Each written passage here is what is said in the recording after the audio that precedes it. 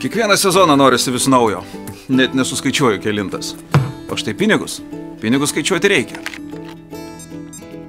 Kiek jų yra sąskaitoje, sužinau per Svetbank programėlę. Paprasta ir saugu. Štai, atsidarau tą programėlę, papurtau telefoną ir ekrane iškart matau, kiek pinigų liko. Labai patogu. E, Maišelio nereikia. Ačiū. Kaip naudotis paslauga greitasis likutis, galite sužinoti Svetbank LT skiltyje kasdienių finansų patarimai. Džiaukitės patogiais dalykais.